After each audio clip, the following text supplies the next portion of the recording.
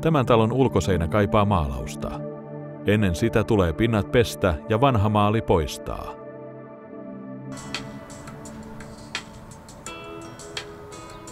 Työtä varten tarvitset sangon, astiapirikkeen, pesusienen, jatkovarteen kiinnitettävän pesuharjan, ergonomisen pesuharjan ja erilaisia maalikaapimia.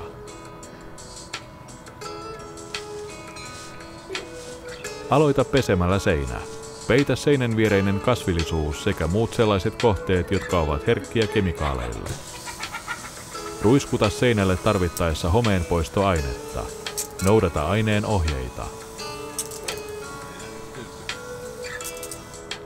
Vaihtoehtoisesti voit pestä seinän tarkoitukseen sopivalla veteen laimennetulla pesuaineella.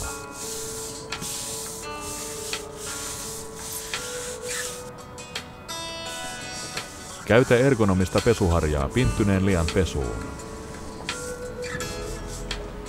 Ruiskuta seinä vedellä puhtaaksi.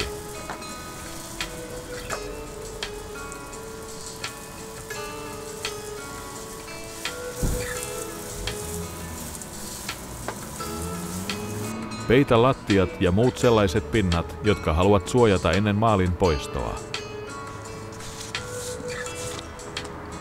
Voit kokeilla veitsellä varmistaaksesi mistä kohdin ja kuinka paljon sinun tulee maalia kaapia. Jos maali irtoaa helposti, kaavi se kokonaan pois. Poista tämän jälkeen kaikki irtonainen maali.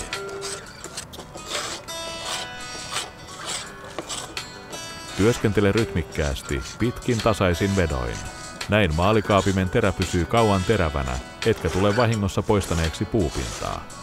Käytä jatkovartta tai tikkaita ulottuaksesi seinän yläosiin.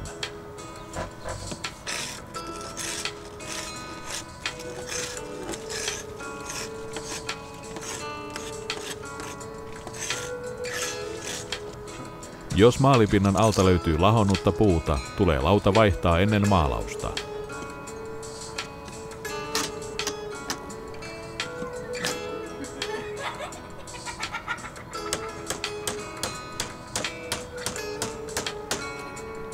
Käytä teräsharjaa karhentaaksesi ja tasoittaaksesi ne maalikohdat, jotka istuvat tiukassa.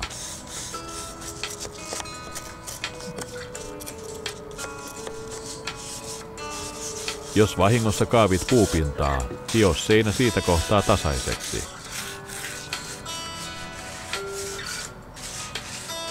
Täytä laudoituksessa olevat raot lateksipohjaisella saumausaineella, jottei kosteus pääse puun sisään ja lahota sitä. Täytä myös ruuvin reijät ja muut vastaavat epätasaisuudet.